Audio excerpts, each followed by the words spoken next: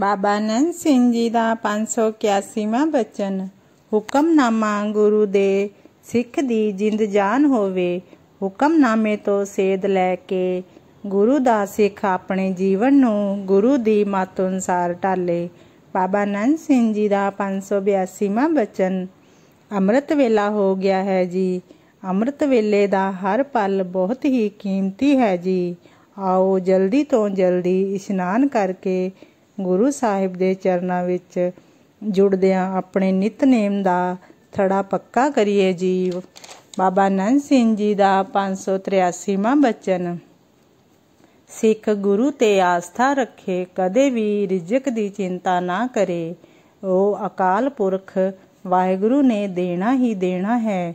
ਸਿੱਖ ਨੂੰ ਇੱਕੋ ਚੀਜ਼ ਦੀ ਚਿੰਤਾ ਹੋਣੀ ਚਾਹੀਦੀ ਹੈ ਕਿ ਮੇਰਾ ਅੰਮ੍ਰਿਤ ਵੇਲਾ ਸੁੱਤਿਆ ਨਾ ਖੁੰਝ ਜਾਵੇ। ਬਾਬਾ ਨੰਦ ਸਿੰਘ ਜੀ ਦਾ 584ਵਾਂ ਬਚਨ। ਨਾਮ ਜਪਣ ਤੋਂ ਬਾਅਦ ਵੀ ਬੁਰੇ ਸੁਪਨੇ ਆਉਣ।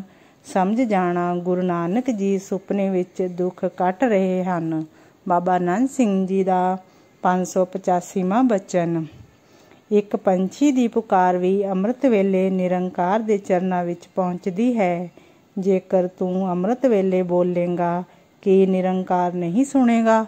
ਵਾਹਿਗੁਰੂ ਜੀ ਕਾ ਖਾਲਸਾ ਵਾਹਿਗੁਰੂ ਜੀ ਕੀ ਫਤਿਹ।